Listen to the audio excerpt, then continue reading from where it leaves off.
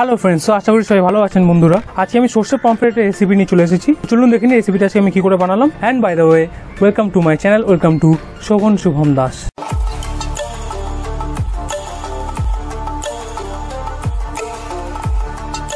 আজকের মেনুর জন্য আমি নিয়ে নিয়েছি পাঁচশো গ্রাম মতো পমফ্রেট মাছ।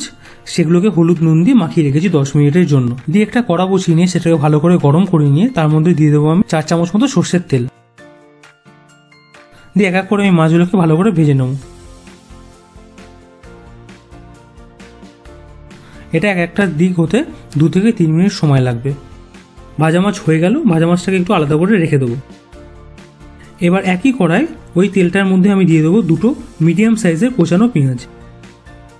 দিয়ে পেঁয়াজটাকে প্রথমে একটুখানি ভালো করে ভেজে নেব। তার মধ্যে দিয়ে দেবো তিন থেকে চারখানা কাঁচা লঙ্কা। দিয়ে পেঁয়াজের সঙ্গে কাঁচা লঙ্কাটাকে ভালো করে ভেজে নেব।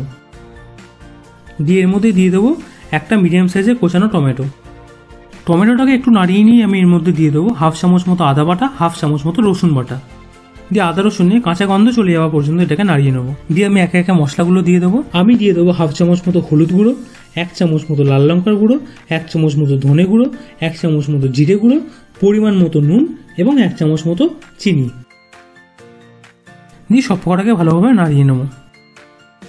এবার আমি এক চামচ সর্ষে গুঁড়োর সাথে হাফ কাপ জল মিশিয়ে এর মধ্যে দিয়ে দেবো। দিয়ে এটাকে আমি আলতো করে নাড়িয়ে নেব। দিয়ে এর মধ্যে এক কাপ জল মিশিয়ে দেবো। জলটা ভালো করে নাড়িয়ে নিয়ে এর মধ্যে কভার লাগিয়ে দেবো একটা বয়েল আসা পর্যন্ত। ফুটতে শুরু করলে আমি এর মধ্যে ভাজা মাছগুলো এক এক করে দিয়ে দেবো। এবার ভাজা মাছটাকে এই গ্রেভির সঙ্গে ভালো করে রান্না করতে দেবো।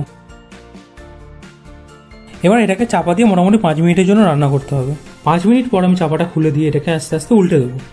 উল্টে দেওয়ার পর আরও ছ থেকে আট মিনিটের জন্য আমি রান্না করে নেব। শেষে আমি এর মধ্যে এক চামচ সর্ষের তেল দেবো আর ওয়ান ফোর টিস্পুন মতো গরম মশলা দেবো। দিয়ে একটা বয়েল চলে এলে কিন্তু আমাদের সর্ষে পমফ্রেট তৈরি।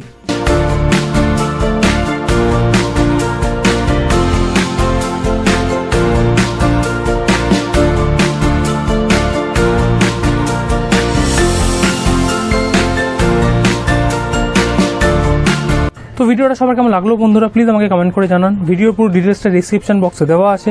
যদি ভিডিওটা আমার ভালো লেগে থাকে, তাহলে প্লিজ লাইক করুন ফ্রেন্ডস অ্যান্ড ফ্যামিলির সাথে শেয়ার করুন, আর আমার চ্যানেলটিকে প্লিজ সাবস্ক্রাইব করে দিন। আজকের মতো এখানেই, ভালো থাকবেন, ভালো থাকতেই হবে। নেক্সট ভিডিওতে আবার দেখা হচ্ছে। তো আজকের মতো, tata bye bye signing off